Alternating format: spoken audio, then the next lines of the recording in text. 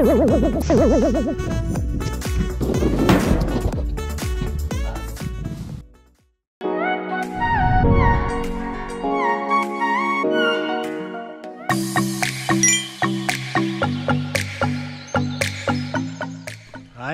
今天我来到了神乐滑雪场，今天多了。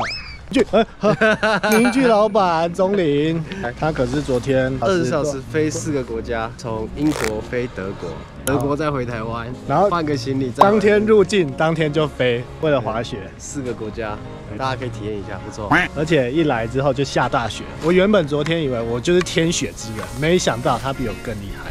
雪这么大，他穿短裤，行李箱很辛苦。天气之子的概念。那今天天气很好，昨天下了一整天的大雪，然后我们今天就来神乐滑滑看。今天就稍微记录一下我们滑行的过程。现在吃完午餐，准备出发了。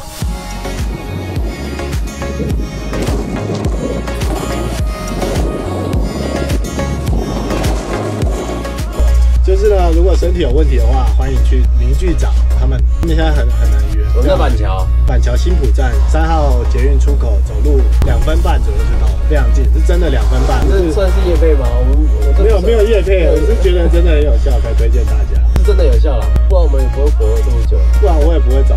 哎，对啊，他你都从中国跑来。我上个月去韩国滑雪，摔到肩膀，大概快一个月没有好，去给他们调两次，哎，一次就好非常多，就可以投篮，要不然原本没有办法投篮。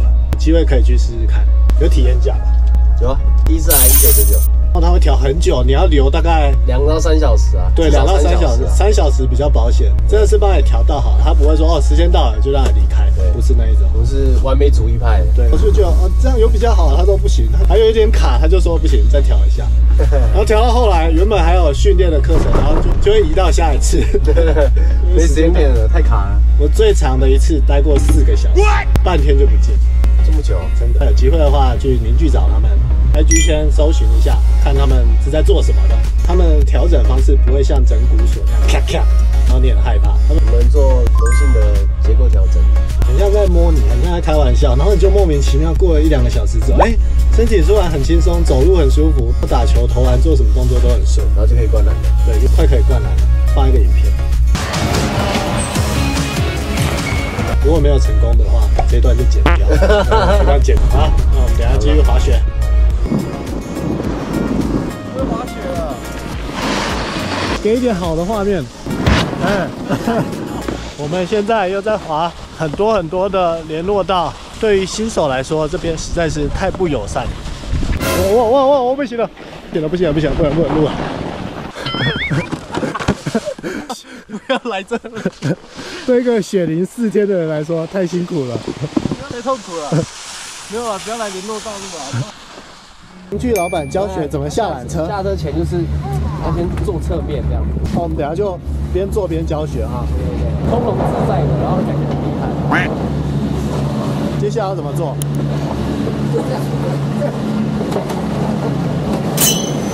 然后表情要这样，这么酷。大家学会了吗？学会了吗？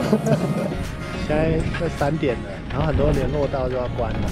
我们刚刚又被工作人员赶，叫我们快点。今天不要像去年一样，又被工作人员骑电动摩托车再下山，这样就代表我一整年来都没有长进。不行，不行。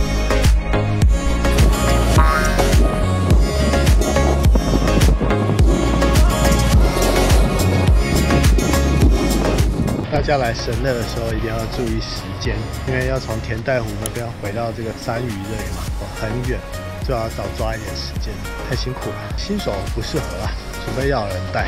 现在往和田小屋迈进，要赶快加速了。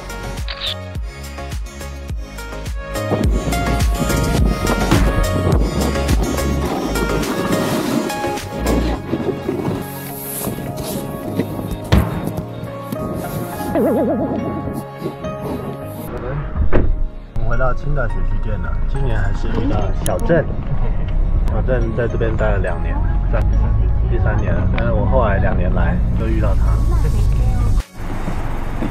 小郑现在是在这边当教练，下一季大家有来的人可以找他，我这边留他的 IG。